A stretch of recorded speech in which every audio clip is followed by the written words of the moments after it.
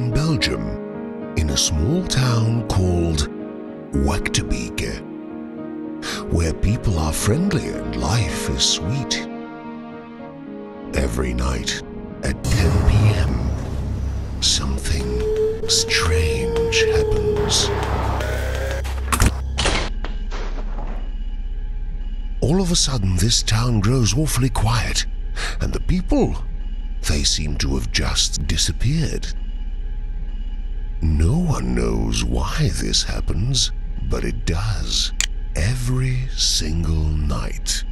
And yet, many have tried to figure out the mystery of Wachtebeke.